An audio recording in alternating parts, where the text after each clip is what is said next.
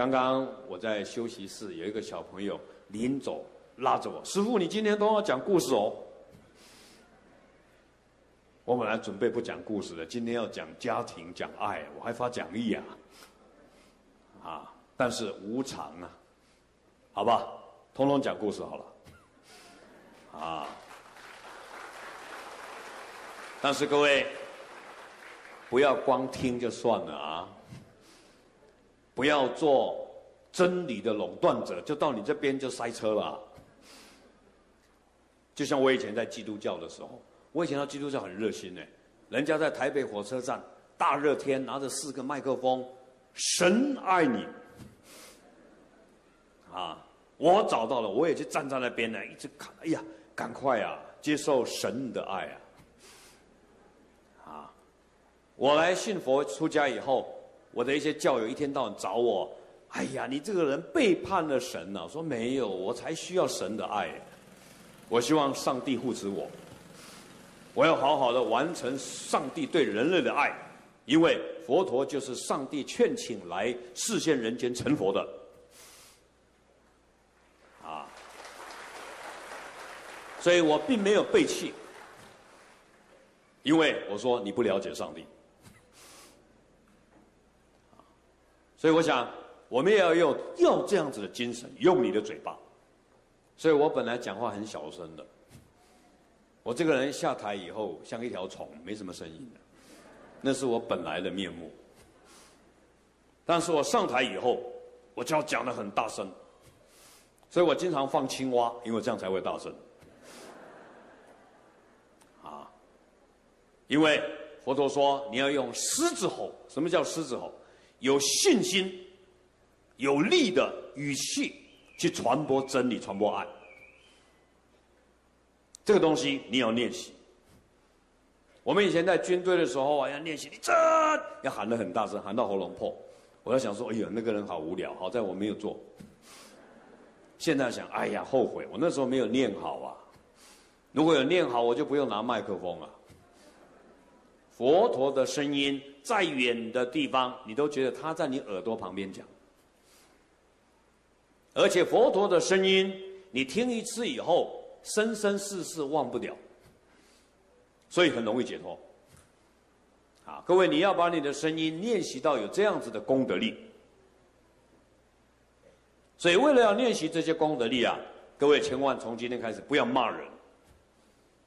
这张嘴巴从不要把不高兴的、给人压力的、不干净的话从你的嘴巴传播出去。不管别人错到极限，不要讲。给别人机会，佛也是这样说：以慈修口，用慈悲心来表达，那你生生世世你会有佛的梵音像。所以各位也要用你的嘴巴多称赞三宝，念阿弥陀佛啊，唱炉香赞啊，参加共修啊，那么你将来的声音种种都会很好。到嘴巴，我顺便讲个故事啊。有一只老虎，老虎王带着小老虎出去外面要找食物啊吃啊。结果有一次看到一个出家人，哎呀，好端正，好慈祥，坐在树下。老虎王本来要吃那个出家人的，结果看到那个慈祥出家人好慈祥，老虎看他，出家人还用很关爱的眼神看老虎。哎呀，整只老虎都被个出家人感动。所以老虎王回去以后，就跟众老虎说：“以后你们看到出家人都不准吃，要保护他，其他没关系。”结果有一天，老虎王居然把一个出家人吃光光，然后地上只剩下一张嘴巴。然后众老虎就抗议：“国王啊，你不是说不要吃吗？”这个老虎王说：“奇怪，我那天看到这个出家人经过，我过去闻他的味道，他全身都没有。”佛教的味道，剩下那个嘴巴而已。各位，这什么意思啊？念佛不在嘴，不是念在嘴巴，要念在身、心里，念在你的生命，你的整体的生命拿来念佛，帮助众生离苦。你对这个世间不执着，这叫老实念佛。不然到时候你会被吃的，剩下一张嘴巴，这个叫口头禅呐。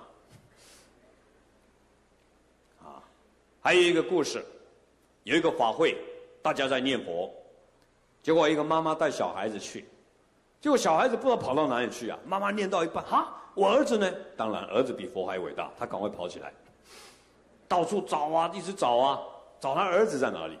结果有一个老和尚在树下，阿弥陀佛，阿弥陀佛，阿弥陀佛。这个妇人啊，为了要找他儿子，根本没有看到老和尚，啪，踢了老和尚一腿，然后赶快跑过去，一继续一直找他儿子。然后老和尚非常的生气，站起来，那个妇人终于找到儿子，哎呀，快快乐乐牵着儿子回到那个地方。老和尚找到树下，叉着腰，问他什么意思？你干嘛踢我一腿？又不停下来，又不说对不起。那个妇人说：“和尚啊，我一心找儿子啊。”我根本忘了你的存在啊！老和尚啊，你不是一心念佛吗？我听你，你怎么知道啊？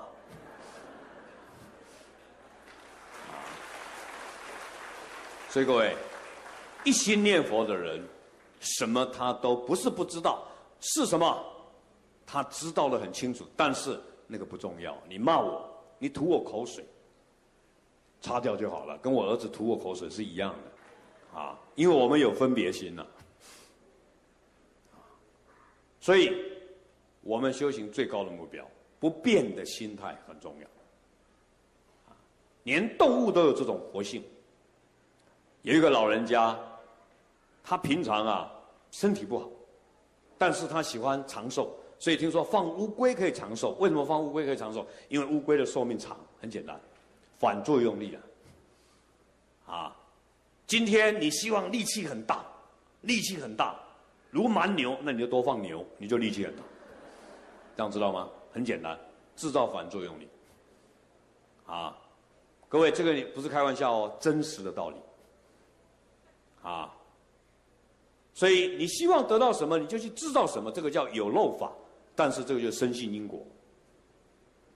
所以这个老人虽然生病，所以他经常买乌龟去放生。那么有一天到了八十几岁了，他病得越来越厉害了。小孩子上班，所以他想说，他现在一病啊，可能躺床上的机会更多。刚好换一个房间要躺的时候，他不敢睡楼上，睡楼下，这样以后要进医院方便了。结果楼下的床太久没人睡，结果一躺下去，床啊，那么高低脚会动来动去，那么他睡不着啊，晚上起来啊，就在外面找一个砖头。摸到一个砖头，就把它放在床那个床垫脚，把它垫着，哦，这样可以睡了。他不是找到砖头，他拿了一只乌龟，他都不知道，他把它垫在那个床角。结果这个老人家从八十几岁活到九十四岁，才舍报。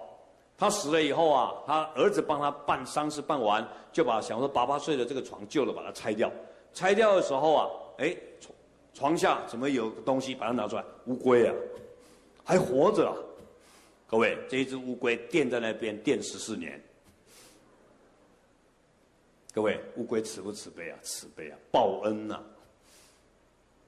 各位，所以他儿子啊，把这只乌龟啊养起来，看到乌龟有如看到爸爸。所以你对众生好，众生都会对你好。这个就是行为反作用力。所以有些人跟我说：“师傅啊，我好怕老鼠。”那你就多放老鼠，你以后看到老鼠就不会怕，很简单。啊，师傅啊，我好怕鬼。那你就多念佛回向给鬼道众生，多诵地藏经。哎，你会发觉呀，不但不会怕鬼，鬼成为你的护法，这叫得送鬼神亲。所以我讲到这个地方，我只告诉各位：你对世界怎么样，世界就对你怎么样。你觉得现在你的世界很悲惨，因为你对世界人众生的态度。啊，今天各位活在马来西亚，哎呀，树很多啊，空气很好啊，为什么？因为我们过去是常种树啊，让别人风景好啊，所以你就生在这种环境里面。所以了解这种因果，那你就可以改造命运了。再来讲第二个故事，有一个富人家。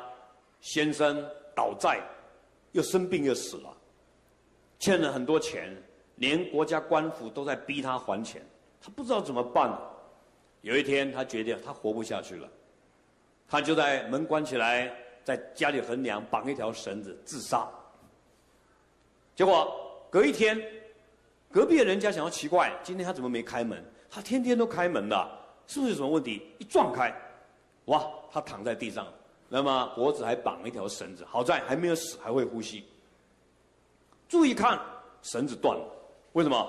他家里横梁的老鼠把绳子给咬断了。为什么？因为这个富人家，别人家养猫都要抓老鼠，他就不以不要养猫。以保护老鼠，而且老鼠它每次都吃完了东西都喂老鼠吃，所以它要自杀，老鼠都把绳子咬断，不让它死了。他被救起来以后啊，他开悟了。连一只老鼠都要它活，连老鼠都要生命，我怎么可以轻生呢？所以生命观改变了，欠人家钱小事慢慢还，生命更重要。所以各位，我们平常所做的任何一个事情啊，帮助任何一个生命，那么你都会碰到的。善有善报，恶有恶报，啊！再来再讲一个故事，在台湾苗栗，有一位黄春妹菩萨，她女儿很孝顺，喜欢学佛，喜欢诵地藏经，然后她妈妈在医院啊生病啊急诊啊很痛苦。那么他女儿知道说读地藏经才知道说，哎呀，如果啊去供养持戒的法师，受戒律的持戒的法师啊，用这个功德回向给他妈妈，希望他妈妈离开病苦，所以他就去找广化老法师，在台湾很持戒的老和尚。那么那个时候刚好结下安居啊，那么老和尚他跟老和尚说：“和尚啊，我妈妈病得很厉害，你能不能让每一个出家人都接受我的供养？我替我妈妈供养，希望他老人家。”减低病苦，广化老法师很慈悲啊，全部的出家人在打坐都给他请出来啊，施主要供养啊，要求福报啊，大家要慈悲啊，啊，很多出家人很不爱钱的，尤其守戒律的，但是佛陀说，人家供养你，你就要接受，你不接受你不慈悲，为什么？因为佛经而写，各位将来供佛或是供养出家人，会得到一种决定报。什么叫决定报？你在供养出家人的时候。你发愿希望我来世相貌庄严，那就会决定报。你供养出家人的时候，希望我现世爸爸妈妈身体健康，七世父母解脱，那就会得到决定报。啊，所以各位将来你供养出家人，如果你有特别的愿的时候啊，那么你就跟这个师傅讲：师傅，我希望来世长得很漂亮。师傅说：祝福你。那你就惨了，太漂亮了，跟莲花圣女一样啊，你就不能修行了。